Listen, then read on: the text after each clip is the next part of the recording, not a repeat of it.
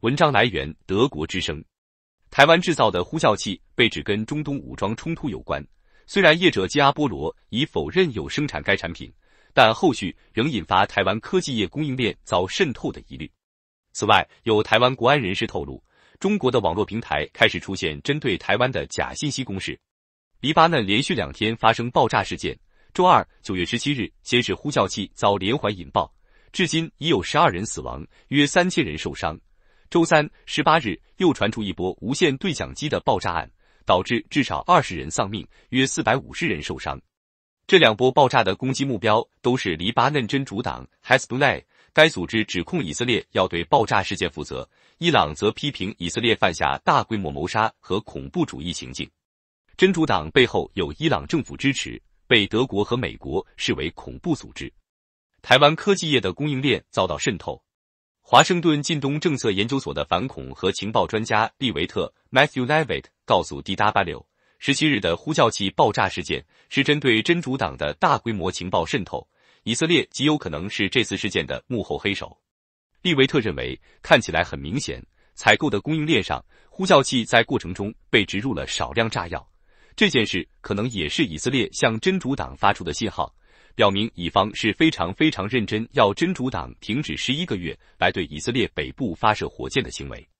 自去年十月，巴勒斯坦伊斯兰极端主义军事团体哈马斯袭击以色列至今，与哈马斯结盟的真主党几乎每天都攻击以色列。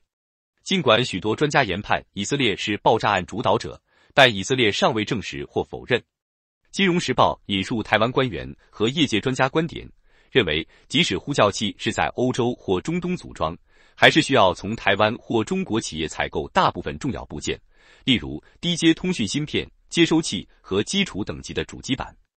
报道指出，这显示科技产品供应链的复杂，涉及数以万计的台湾小企业，其中很多企业的创办人在中国、越南经营过工厂，却对跨境安全、出口管制规则不甚了解。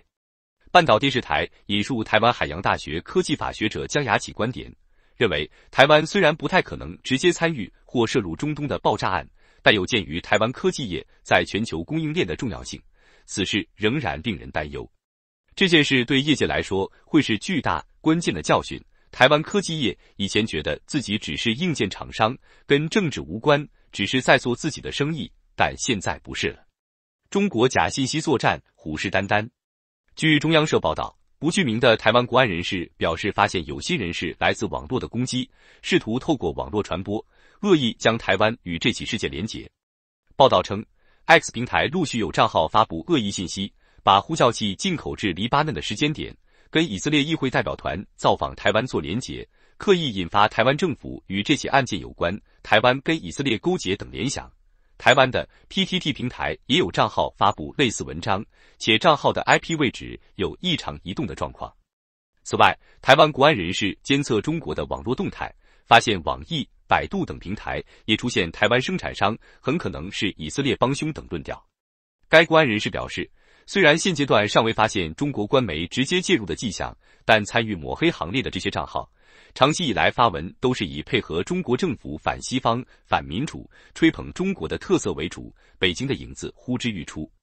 台湾国防部长顾立雄十九日被问及爆炸事件前，台湾是否有获得以色列情报机构事先通知？对此，顾立雄强调，台湾跟以色列绝对没有这样的情报交换关系。台湾国防部发言人孙立方则说，台湾的国际合作性质是有助于区域和平稳定。并没有涉及区域外具挑衅性质的行动。被引爆的呼叫器到底从哪里来？第一波爆炸案发生后，国际焦点集中在一款呼叫器上贴有台湾企业基阿波罗 （Gold Apollo） 商标的 AR 九二四产品。基阿波罗称，只是授权给位于匈牙利的 BAC 公司贴牌使用商标，该产品不是在台湾制造。不过，基阿波罗创办人许金光十九日仍遭台湾检调单位约谈。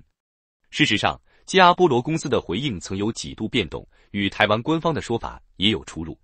十八日，台湾经济部曾以书面回应媒体，称业者说明该呼叫器的制造与组装都在台湾完成，但该产品的规格设计本应无爆炸造成死伤可能，因此该公司对于是否属于其产品颇有疑问，并判断呼叫器应为出口后遭改装。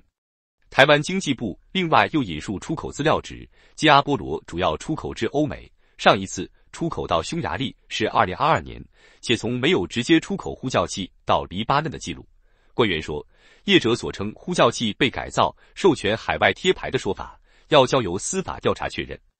基阿波罗否认呼叫器是台湾制造之后，媒体焦点转向匈牙利的 BAC 公司。